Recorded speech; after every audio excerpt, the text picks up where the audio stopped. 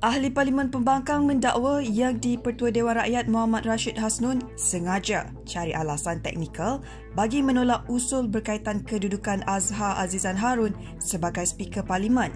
Menurut mereka, alasan digunakan Rashid seperti sengaja diada-adakan apabila alasannya tidak konsisten.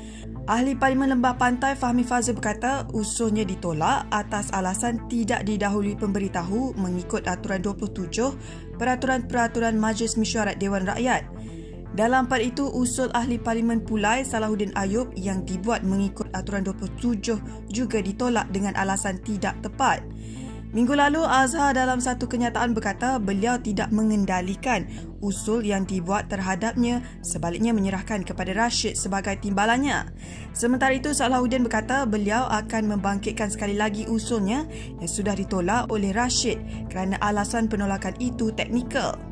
Beliau menghantar usul pada 13 dan 16 Ogos namun Rashid menolak kedua-duanya melalui dua surat balasan bertarikh 18 dan 25 Ogos yang dilihat oleh The Malaysian Insight. The Malaysian Insight cuba mendapatkan maklum balas Rashid namun beliau enggan mengulas. Rashid sebaliknya berkata pihaknya hanya akan menjawab kepada pengusul sahaja.